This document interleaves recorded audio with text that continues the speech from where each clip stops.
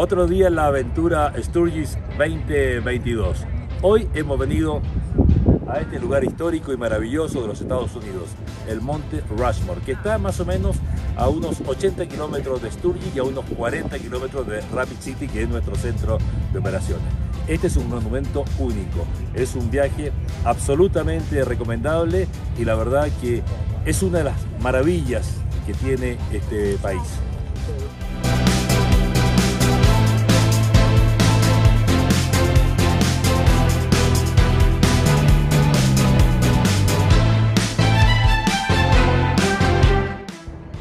Esta escultura tiene una particularidad. La expresión del rostro cambia según el momento del día. ¿Es así, Sergio? Así es, estamos en el Monte Rushmore.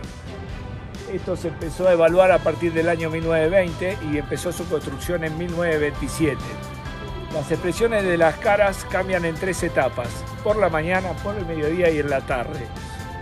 No está eh, bien claro ahora la filmación, pero en el centro del ojo las pupilas están talladas espectacularmente bien que solo se puede ver con un buen larga vista. Algo espectacular, lo cual han formado en una montaña.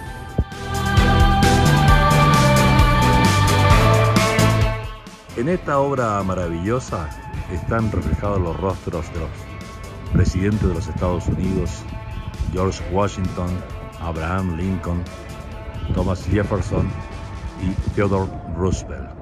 Es una obra fantástica que está en la zona de los Black Hills, que es una zona cordillerana, montañosa y muy nevada en invierno acá en Dakota del Sur.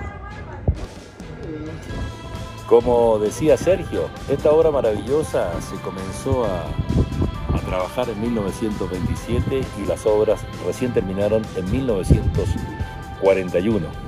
Y lo que nos contaba uno de los guardias acá de, del parque es que hoy el mantenimiento se le hace digitalmente es decir, con, eh, con láser se van corrigiendo las imperfecciones, los desgastes, etcétera, etcétera. La verdad, fantástico.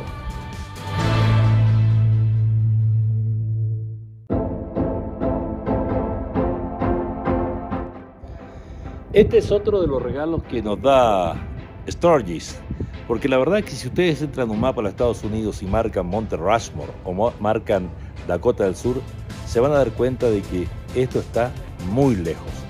Está muy lejos de aquellos lugares que generalmente nosotros seleccionamos en los Estados Unidos como para venir de visita, de vacaciones.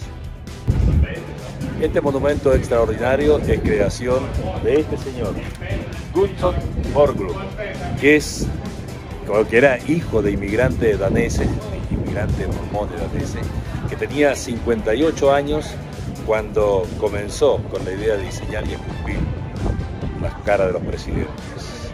Conocido como el escultor de retratos con estudios en Nueva York y en París, Borglund hizo algo que es realmente extraordinario.